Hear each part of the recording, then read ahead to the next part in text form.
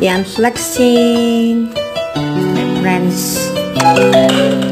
Bag. Louis Vuitton. Louis Vuitton. Yan. Sa mga gustong maghanap ng bags dyan, pwede niyo akong i-PM direct doon sa comment na doon kung saan gusto niyo. Kung gusto niyo bumili ng bag na yan, kaya comment kayo doon sa aking comment section bago kayo mag ah, bago at huwag kalimutan yung mag-subscribe sa aking channel. Ayan, flexing this bag for a friends.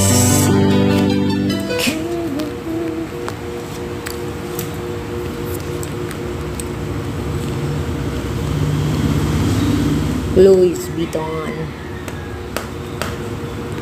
Sa friend ko yan.